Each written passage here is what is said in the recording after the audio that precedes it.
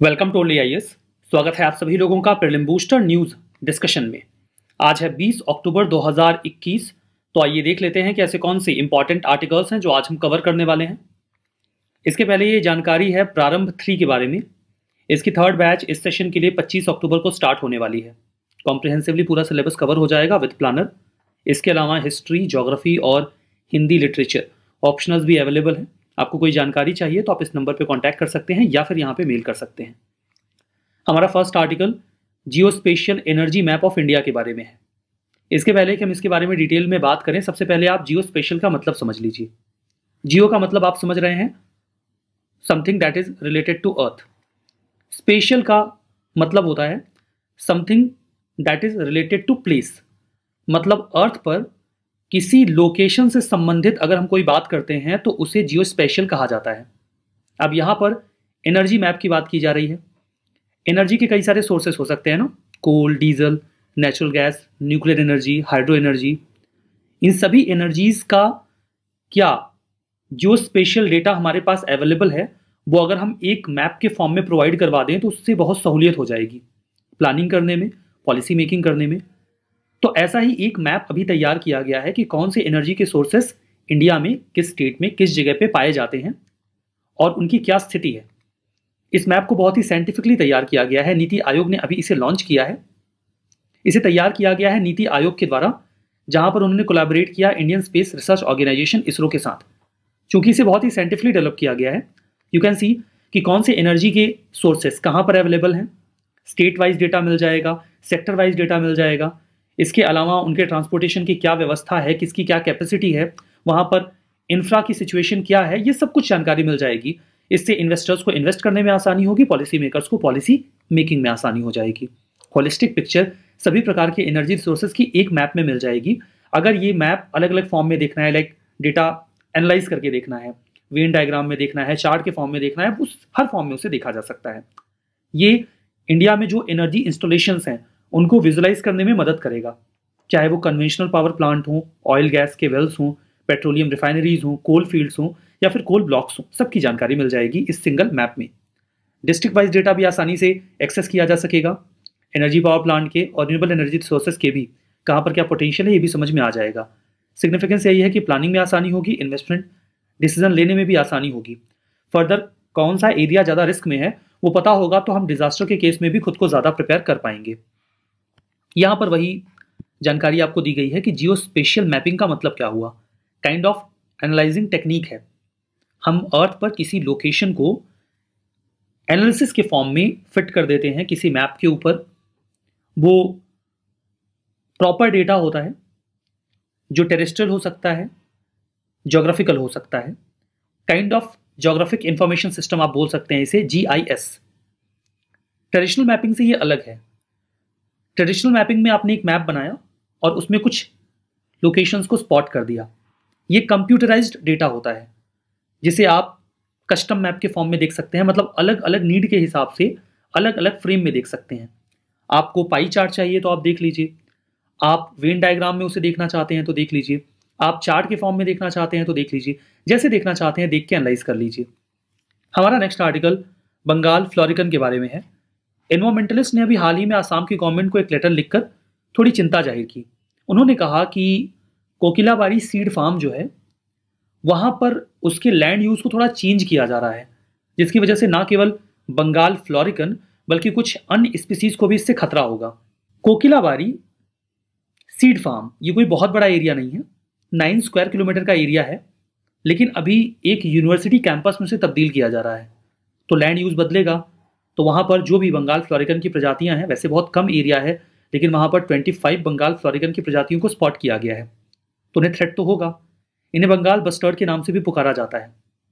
लो land dry या फिर seasonally indebted land पर रहना पसंद करते हैं, जहाँ पर घास वगैरह थोड़ी कम हो जाए, वैसे ये ग्रास लैंड के शौकीन होते हैं। नेचुरल और सेमी नेचुरल ग्रास लैंड में रहना पसंद करते हैं। कई बार स्क्रब या पैची ओपन फॉरेस्ट जो होता है, जहाँ पर पेड़ वगैरह थोड़े कम हो, वहाँ पर भी ये रह लेते हैं। जो स्पीसीज़ है, ये बहुत ही कम नंबर में पाई जाती है इंडिया में और कम्बोडिया में। नेपाल में भी कुछ सौ की संख्या में ये प्रेजेंट हैं। बांग्लादेश में पहले हुआ करते थे, अभी ये वहाँ से पूरी तरीके से ख़त्म हो चुके हैं। इंडिया में आपको दो नदियों के जो फ्लड प्लेन्स हैं, वहाँ पर ये मिलेंगे। एक तो गंगा और दूसरा ब्रह्मपुत्रा। गंगा के फ्लड प्लेन में ये आपको मिलेंगे उत्तर प्रदेश में, दुधवा और पीलीभीत टाइगर रिज़र्व में। ब्रह्मपुत्रा डेल्टा की बात करें तो जल्दापारा नेशनल पार्क, जो वेस्ट बंगाल में है, काजीरंगा और मानस नेशनल पार्क, आसाम, और Dering wildlife sanctuary Arunachal Pradesh. इन जगहों पर ये आपको मिल जाएँगे। आईसीएन का स्टेटस इनका क्रिटिकली इंडेंजर्ड है। Indian wildlife protection act of 1972 के शेड्यूल वन में है। CMS convention on migratory species के अपेंडिक्स वन में है। चूँकि इनका हैबिटेट चेंज हो रहा है एग्रीकल्चर लैंड या प्लांटेशन में कन्वर्ट होने की वजह से इनकी संख्या कम हो रही है कई बार कोई इन्वेजिव एलियन स्पीसीज आ जाती है तो उन्हें खतरा हो जाता है। डैम कंस्ट्रक्शन की वजह से भी ग्रासलैंड का एरिया कम होता है तो उनकी संख्या में कमी देखी जाती है। कोकिलाबारी सीड फार्म आसाम में है। महज नाइन इंटू नाइन किलोमीटर का एरिया ये है साइज़ में। अगर आप मानस नेशनल पार्क से बात करेंगे तो उसका सौवा हिस्सा आप समझ लीजिए। लेकिन इतने कम एरिया में भी हमें पच्चीस बंगाल फ्लोरिकन मिल जाते हैं। तो ये बात तो मैंने आपको बता ही दी थी। हमारा नेक्स्ट आर्टिकल अर्थ शॉर्ट प्राइस के बारे में है।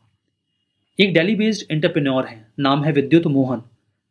उन्हें ये प्राइज़ अभी हाल ही में मिला है, इस वजह से ये काफ़ी न्यूज़ में रहा। सबसे अच्छी बात यह है कि ये prize for the first time दिया गया है, पहली बार।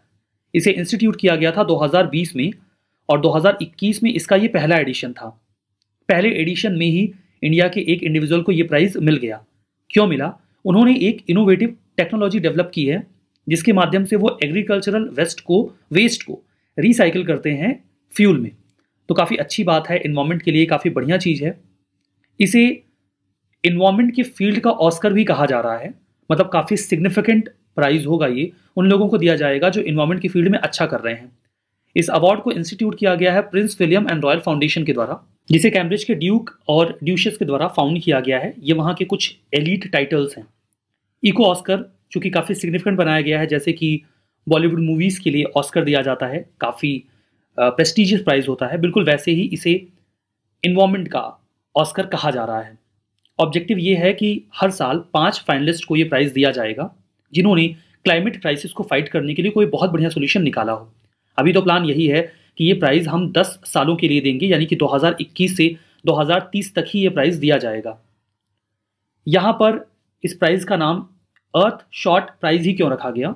क्योंकि इसके पहले जॉन एफ़ कैनेडी ने एक प्रोग्राम लॉन्च किया था मून शॉट का 1962-63 के दौरान ये वहाँ के प्रेसिडेंट थे यूएस के। उस दौरान प्लान ये था, एक कोल्ड वॉर का समय था यूएसए और यूएसएसआर के बीच में एक स्पेस रेस चल रही थी कि मून पे पहले कौन जाएगा। तो प्लान ये था मून शॉट प्रोग्राम के ज़रिए कि यूएसए को सबसे पहले मून पे पहुँचाया जाए।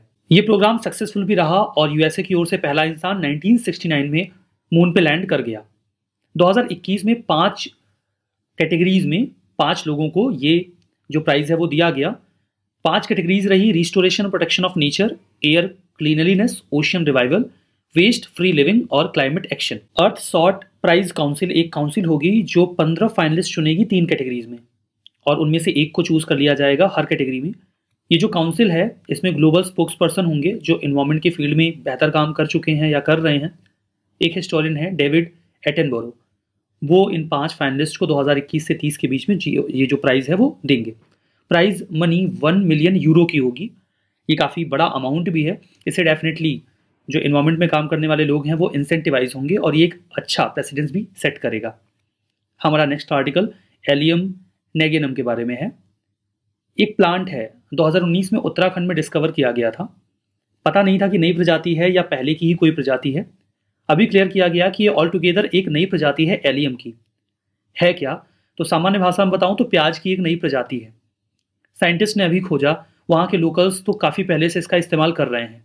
इंडो तिब्बतन बॉर्डर पे मलारी विलेज का एरिया है, वहाँ पर इसे खोजा गया है। उत्तराखंड के चमोली डिस्ट्रिक्ट में जो नीति वैली है, जहाँ पर नीति पास भी मिलता है, वहीं पर ये खोजा गया है। वेस्टर्न हिमालयास के रीजन तक ही रिस्ट्रिक्टेड है। इंडिया की बात कर रहे हैं, और कहीं भी दुनिया में नहीं पाया जाता। वेस्टर्न हिमालयाज की लोकेशन इसके लिए स्पेसिफिक है। तीन हज़ार से अड़तालीस सौ मीटर अब सी लेवल पर ये पाए जाते हैं। ग्रासी मिडोज हों या सैंडी सॉइल में ये अक्सर उगते हैं। लोकल कम्युनिटीज़ इसके बारे में काफ़ी लंबे समय से जानते हैं और इनका इस्तेमाल भी कर रहे हैं। हमारा next article D one gene के बारे में है। आईआईटी कानपुर के रिसर्चर्स ने अभी एक पार्टिकुलर जीन को डिस्कवर किया है, जिसे नाम दिया गया है डेलेक्स वन उनका ये मानना है कि जो प्रोस्टेट कैंसर होता है, ये इसमें एक बहुत ही की रोल प्ले करता है। सबसे पहले तो मैं आपको बता देता हूँ कि प्रोस्टेट कैंसर क्या होता है। देखिए प्रोस्टेट कैंसर किसी भी इंसान के प्रोस्टेट में होता है। प्रोस्टेट एक ग्लैंड होती है जो कि मेल रिप्रोडक्टिव सिस्टम में पाई जाती है ब्लैडर के जस्ट नीचे और यूरेथा के बिल्कुल यूरेथ्रा के बिल्कुल पास में। देखिए, ये ह्यूमन पेनिस है। इसके ऊपर यहाँ पर एक ग्लैंड आपको दिख रही है, इसे ही प्रोस्टेट ग्लैंड कहा जाता है। यहाँ पर जो कैंसर होता है, इसे ही प्रोस्टेट कैंसर कहा जाता है। तो यहाँ पर एक पार्टिकुलर जीन काफ़ी की रोल प्ले करता है दैट इज़ डीएलएक्स जीन इसी बारे में ये रिसर्च है। डीएलएक्स वन जीन जो है, ये केवल, ऐसा नहीं है कि केवल कैंसर कॉज करता है, ये हमारी बॉडी में कुछ इंपॉर्टेंट रोल भी प्ले करता है। लाइक like ह्यूमन की बॉडी में जो जॉ स्केल्टन या फिर जो इंटर न्यूरॉन्स हैं ब्रेन के, उनके डेवलपमेंट में इस जीन का बहुत ही की रोल होता है। और ये प्रोस्टेट कैंसर की सेल्स में भी पाया जाता है। यहाँ पर स्टडी में ये पाया गया कि यूडिलेक्स वन प्रोटीन है, ये ट्यूमर्स के डेवलपमेंट और ग्रोथ में भी एक बड़ा रोल प्ले करता है। और इसीलिए कैंसर को भी डेवलप करता है। तो एक इनहिबिटर मतलब एक ऐसा मॉलिक्यूल जो इसके कैंसर के डेवलपमेंट को रोक सके, उसको रिसर्चर्स ने अभी एक्सपेरिमेंट किया एक माइस के ऊपर, एक थेरेपी की स्ट्रेटजी के फॉर्म में, जहाँ पर उन्होंने ये कहा कि वो ट्रीट कर सकते हैं ऐसे प्रोस्टेट कैंसर को, जहाँ पर डेलेक्स वन ज़्यादा संख्या में हो, ज़्यादा मात्रा में हो, या DLX one positive prostate cancer आप कह सकते हैं। हमारा next article Sir Syed Ahmad Khan ji के बारे में है। सर सैयद अहमद खान जी की अभी 204वीं बर्थ एनिवर्सरी थी। 17 अक्टूबर 1817 को इनका जन्म हुआ था। ये एक टीचर थे पॉलिटिशियन थे और सोशल रिफॉर्मर थे। अठारह सौ सत्तावन की क्रांति के बाद ब्रिटिश एडमिनिस्ट्रेशन मतलब उसके पहले से ये ब्रिटिश एडमिनिस्ट्रेशन में सर्व किया करते थे। अठारह सौ सत्तावन की क्रांति जब हुई तो ब्रिटिशर्स ने कहीं कहीं कहीं ना कहीं ये मान लिया कि इस क्रांति में जो मुस्लिम कम्युनिटी के लोग थे, उनका एक की रोल था। और इसीलिए उनकी जो पॉलिसीज़ थी मुस्लिम्स को लेकर वो काफ़ी ऑप्रेसिव हो गई। इस बात को लेकर सर सैद अहमद खान जी बहुत ज़्यादा चिंतित थे। उन्हें ऐसा लगा कि मुस्लिम्स वैसे ही बहुत पीछे हैं और अगर ब्रिटिशर्स ऑपरेशन की ये पॉलिसी अपनाने लगे तो मुस्लिम्स की सिचुएशन और भी ज़्यादा खराब हो जाएगी। इसीलिए इन्होंने एक पैम्फलेट लिखा, जिसका टाइटल था the causes of the Indian revolt यहाँ पर ये इंडियन परस्पेक्टिव से रिवोल्ट के रीज़न को एनालाइज करते हैं। अगर सीधे सीधे कहूँ तो वो ये साबित करने की कोशिश करते हैं कि इस रिवोल्ट में मुस्लिम्स का हाथ नहीं था और उन्हें ऑपरेस नहीं किया जाना चाहिए। ये एक एजुकेशनिस्ट थे। ये चाहते थे कि इंडिया में मुस्लिम्स के लिए जो एजुकेशन की अपॉर्चुनिटीज़ हैं, वो ट्रांसफॉर्म हो जाएँ। वो चाहते थे कि मॉडर्न एजुकेशन मुस्लिम्स को भी मिले। और इसी उद्देश्य से इन्होंने अलीगढ़ मूवमेंट की शुरुआत करी। एक सोशल रिफॉर्मर के रूप में वो चाहते थे कि डेमोक्रेटिक आइडियल सभी तक पहुँचे और फ्रीडम ऑफ़ स्पीच सबको हो। वो रिलीजियस इनटॉलरेंस के खिलाफ थे। वो चाहते थे कि सभी धर्मों को सम्मान मिले इग्नोरेंस या ई रैशनलिज्म वो इसका भी विरोध करते थे। उन्होंने पर्दा सिस्टम पॉलीगेमी और आसानी से जो ट्रिपल तलाक या डाइवोर्स का मैकेनिज्म है, उसका भी विरोध किया। तजबुल अखलाक, जिसका मतलब सोशल रिफॉर्मर होता है, ये एक मैगजीन थी, जो इन्होंने स्टार्ट की थी ताकि वो लोगों के अंदर एक कॉन्शियसनेस डेवलप कर सकें। इसमें वो एक्सप्रेसिव प्रोजेस लिखा करते थे, जो कि सोशल और रिलीजियस इश्यूज़ पर हुआ करते थे। नेशनल मूवमेंट को लेकर इनका क्या रवैया था?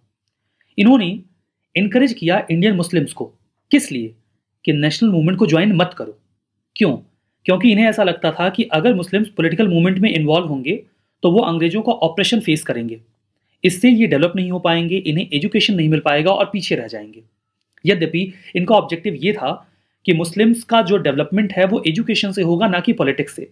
लेकिन इसके रिज़ल्ट बहुत ख़राब हुए, क्योंकि इनका ऐसा करना भारत में कहीं ना कहीं कम्युनलिज्म या सेपरेटिज्म को बढ़ावा दे जाता है।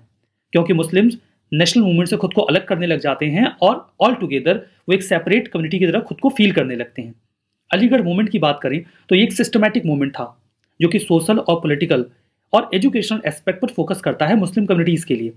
ये चाहते थे कि मुस्लिम्स के लिए एजुकेशन मॉडर्नाइज हो और जो ट्रेडिशनल टीचिंग है, उसे हम रिनाउंस करें, उसे हम छोड़ें। सर सैयद अहमद खान जी ने इसी उद्देश्य से 1864 में साइंटिफिक सोसाइटी को स्टैब्लिश किया, अलीगढ़ में।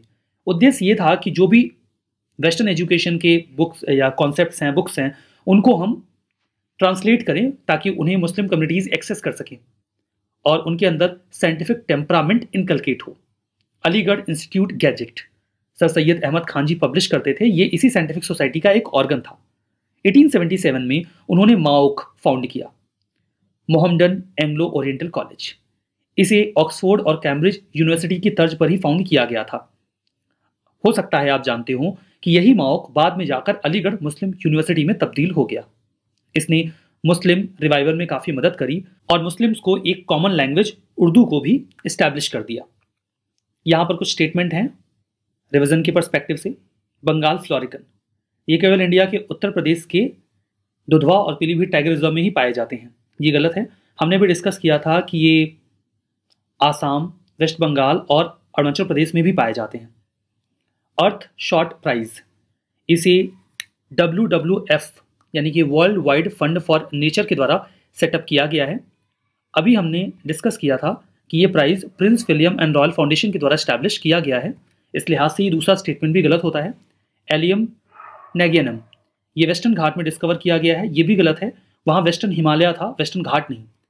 डीएलएक्स वन जीन ये इंपॉर्टेंट रोल प्ले करता है जॉस केल्टन और इंटर न्यूरॉन जो ब्रेन में होते हैं, उनके डेवलपमेंट में, ये सही है। सर सैयद अहमद खान ने इंडियन मुस्लिम्स को इनकरेज किया कि वो नेशनल मूवमेंट को ज्वाइन करें, ये बिल्कुल गलत है। उन्होंने डिस्करेज किया था इनकरेज किया था कि वो ज्वाइन ना करें। ये सेशन यहीं पे समाप्त होता है। सेशन की पीडीएफ आपको only S K telegram channel पे मिल जाएगी। आज का सेशन यहीं पे समाप्त। बहुत बहुत धन्यवाद।